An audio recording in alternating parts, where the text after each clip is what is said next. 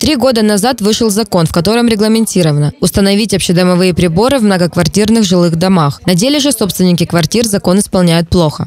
Необходимо во всех многоквартирных жилых домах в срок до 1 июня 2013 года установить общедомовые коллективные приборы учета потребления электроэнергии, холодной, горячей воды и тепла.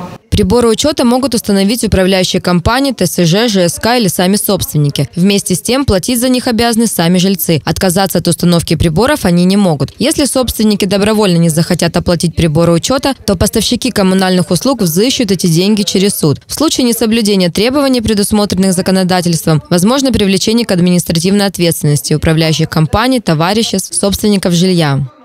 Ориентировочная стоимость приборов учета общедомовых в зависимости от диаметров труб колеблется по холодному и горячему водоснабжению от 10 до 30 тысяч рублей, по электроснабжению 10-12 тысяч рублей, по теплоснабжению от 250 до 500 тысяч рублей. Чтобы уменьшить расходы на ЖКХ, достаточно купить счетчик нового поколения. Именно такие приборы оснащены системой день-ночь. Днем дорого, ночью гораздо дешевле. Несмотря на это, в Анапе процент оснащенности приборами крайне низкий. По приборам учета на холодную воду 71%, по горячей воде 39%, по электроэнергии 28% и по теплу 36%. По словам чиновников, управляющие компании жилищной кооперативы обязаны раскрывать информацию о своей деятельности путем публикации на сайте ЖКХ. Алина Гумерова, Александр Кореневский, Игорь Куршаков, Анапа регион.